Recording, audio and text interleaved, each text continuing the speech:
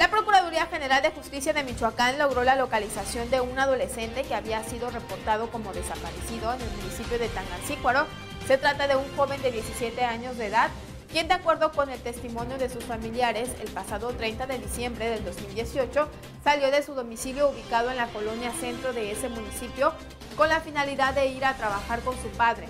Sin embargo, nunca llegó a su destino, por lo que fue reportado ante la Procuraduría, quien activó de inmediato los protocolos de búsqueda y localización establecidos en la alerta Amber Michoacán.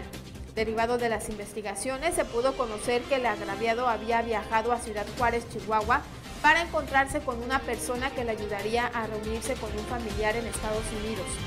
El agraviado fue presentado ante el agente del Ministerio Público para su certificación médica. Ahí manifestó haber salido de su domicilio por su propia voluntad.